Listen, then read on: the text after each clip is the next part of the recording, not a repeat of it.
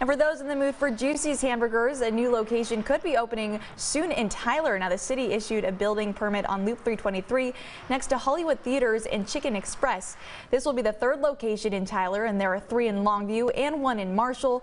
The expected value of this East Texas trademark is around $800,000.